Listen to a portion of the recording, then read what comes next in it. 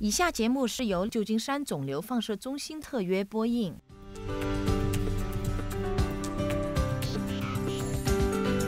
朋友，晚安，欢迎收看《商界纵横》，我是 Mina 李世平。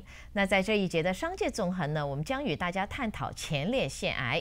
那请到的嘉宾呢是旧金山肿瘤放射中心的主任耿医生。哎，耿医生你好，Mina 你好。哎，耿医生啊，那首先呢，麻烦您来为我们介绍一下这个前列腺癌到底是什么呢？嗯，对，前列腺癌呢，实际上是一种非常常见的癌症，在美国呢，在男性呃呃里面属于是呃发病率最高的一种肿瘤，呃前列腺的位置呢就在膀胱下面，啊随着年龄的增大，大多数的男性都会有前列腺肥大，但是前列腺肥大和前列腺癌症是完全两种不同的症状，嗯，但是因为呃年龄比较大的人，呃发病率会比较高，前列腺呃肥大的发病也也会比较高，所以很多人会误解好像前列腺肥大啊好像。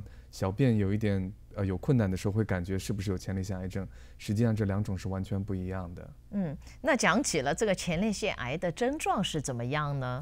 很多时候其实也没有症状，因为呃前列腺癌又分成三种，呃呃它是根据肿瘤的呃攻击性不同，有攻击性很低的肿瘤，有呃中度攻击性的肿肿瘤，还有高度攻击性的肿瘤。嗯，像慢性的前列腺癌呢，攻击性比较低。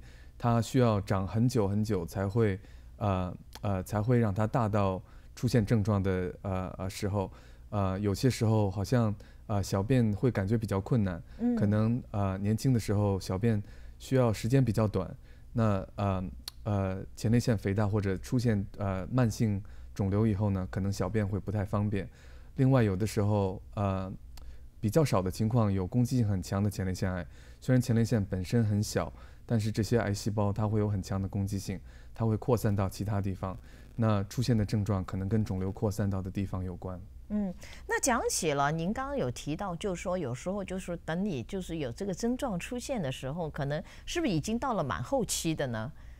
大多数的病人都不是这样，因为我刚刚讲过，前列腺癌症的发病率实际上根据年龄的增加是确实有增加很多，但是大多数人。嗯，感觉到自己有症状的时候，症状实际上是前列腺肥大。哦，是这么样，所以就说，呃，这个前列腺癌就是一般的罹患率高吗？罹患率，嗯，应该是不算，在男性里面算是相当高，但是，嗯，呃，前列腺癌。大多数都是属于攻击性比较低的癌症，所以死亡率是比较低的。实际上，哦，跟肺癌啊、啊胰腺癌、跟食道癌很不一样的。哦，所以它这个就是说，一般的就是死亡率，就是到末期的这个几率还是没有那么高。对，治好的几率是很高的。嗯，那讲起了，就是您当然您的专业就是那手术性放疗了。那手术性放疗到底是什么呢？我麻烦您再介绍一次。好，手术性放疗是用呃一个仪器叫 CyberKnife。CyberKnife 是一个像一个机器人，它是整个的一套系统，它专门呃呃治疗嗯呃骨盆里面的肿瘤，像前列腺癌症就是其中的一种。它叫手术性放疗，是因为它的效果和开刀一样，但是它实际上是放射线治疗，所以完全不需要开刀，呃也不需要嗯 anesthesia，病人呃都是门诊来啊做好做好治疗以后，一小时马上就可以就可以呃回家。嗯，您以前有提过，好像连那个都不用穿那个这个衣呃病人的这个这衣服，对吗？就是完全就穿自己的衣服就可以了，然后不会内出血或者怎么样吗？完全不会。哦，完全不会的。因为它根本不需要开刀，他是用 X 光射线打到肿瘤上，把肿瘤杀死。哦，那那我想请问一下，那您刚当然已经有提到跟一般开刀有什么不一样？那这个好处在哪里呢？手术性放疗。好处一般对病一一般病人来讲，最大的区别就是，呃，讲回来还是不需要开刀，因为前列腺的位置它实际上是在膀胱下面。那呃，从膀胱出来以后，呃，尿道是会通过前列腺，所以如果要做手术的话，实际上是蛮大的一个手术，要从呃腹部呃比较低一点的地方开刀取出这个前列腺，取出的时候中间这一段尿道也也都要摘掉，所以尿道还要重新再把它粘合起来。这样的话，很多病人做完手术以后，可能会有嗯性功能下降，因为旁边有啊控制性功能的神经和血管。嗯。另外呢，可能会会出现小便呃无法呃无法控制，也是因为伤到膀胱下面呃呃实际上是控制尿道的肌肉。如果去做手术性放疗的话，因为不需要开刀，这些影响会很小。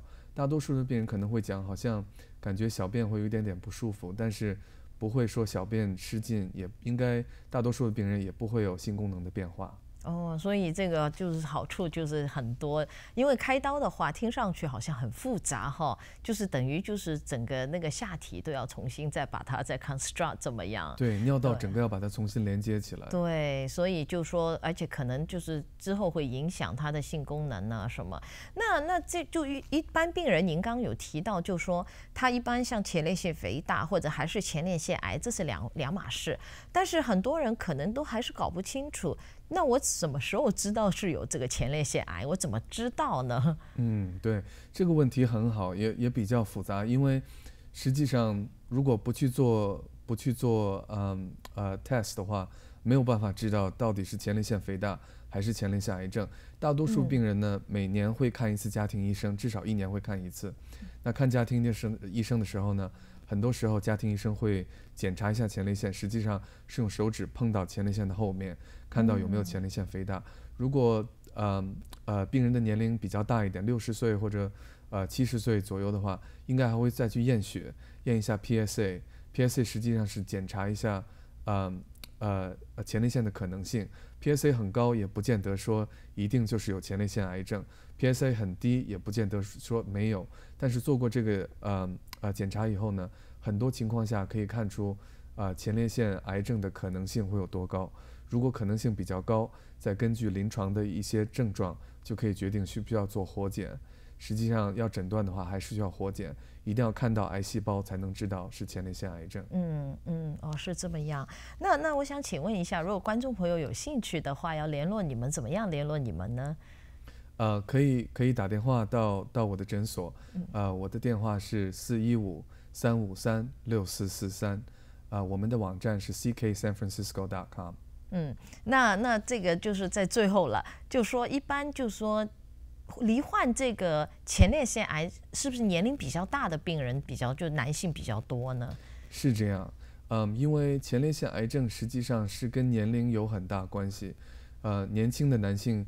像三十岁以下很少很少会有前列腺癌症，大多数的病人是在五十岁以后才会出现前列腺癌症。嗯，有一个研究甚至发现，呃，八十岁以后过世的男性当中，去做最后尸体解剖，实际上检验的时候会看到百分之五十以上的人都有前列腺癌症。好，我们非常感谢呃，Dr. Gan。那正如 Dr. Gan 所说的，就是前列腺癌呢，其实没有那么严重呃。但是呢，就是说大家呢，还是记得每年呢，就是要做这个体检，就 make sure 呢，你身体是没问题的啊。那我们现在进入一段广告，广告之后再见。